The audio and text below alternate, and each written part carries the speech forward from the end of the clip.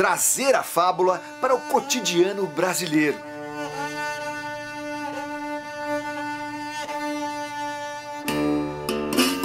Colocar a fantasia em primeiro plano sem abandonar a realidade.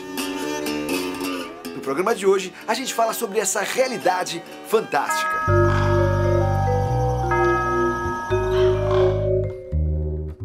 Jim, que mundo paralelo aí você vive em BH para surgirem tantas histórias?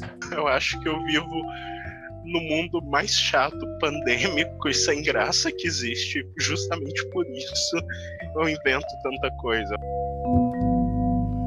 Eu sou escritor, eu sou roteirista de cinema, eu sou tradutor, escrevo quadrinhos. No resto do tempo eu também não sou um gamer, eu passo muito tempo jogando videogame. Então eu tenho vários interesses e tudo que eu gosto entra no que eu escrevo.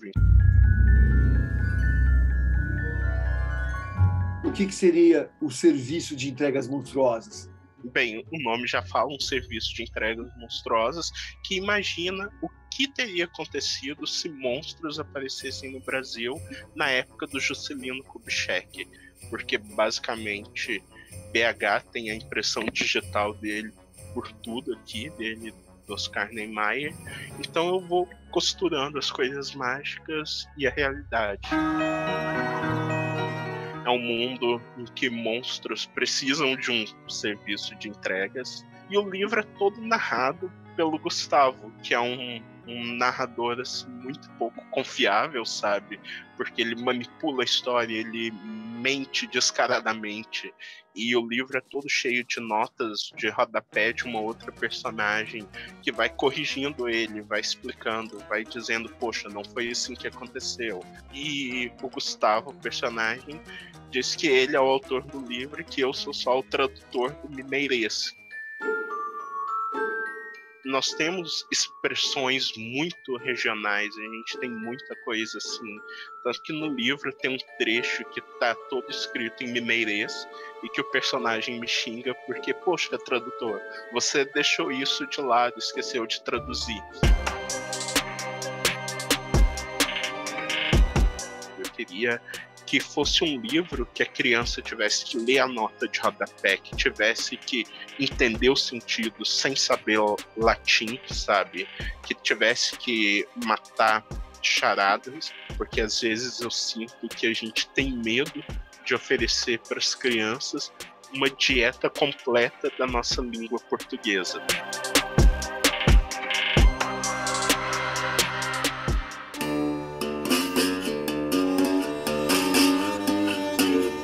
O Alto da Maga Josefa, traz pra gente, além da Josefa, também o, outro personagem, o Toninho, né? Um cenário brasileiro, com tradições nordestinas. A gente acompanha pelo, a história pelo ponto de vista do Toninho, né? Então ele é um, um jovem caçador de demônios. Ele vem de uma família ali, né, que caça criaturas sobrenaturais numa dessas caçadas ele né, se encontra ali, bate de frente com a Josefa, é, que é uma maga, né, e que na, pela mitologia aqui do, é, do livro, da história, ela é então filha do diabo.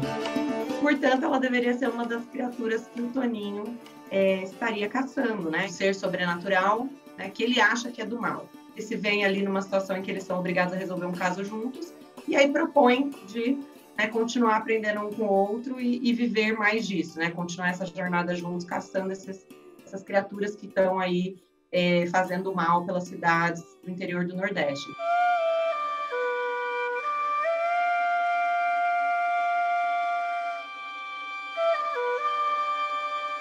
O Alto da Maga Josefa, apesar de ser uma, é, de, de, parecer que é desconectado assim da realidade, é, eu falo um pouco de intolerância religiosa, é, de, de, temas que são presentes para a gente, né? De, de, machismo.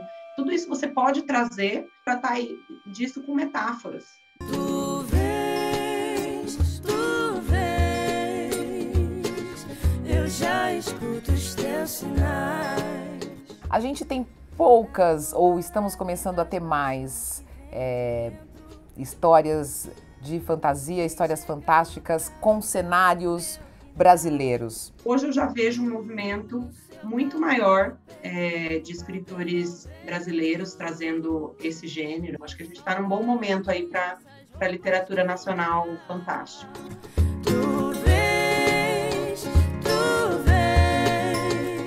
Acompanhe mais novidades nas redes sociais. Um beijo!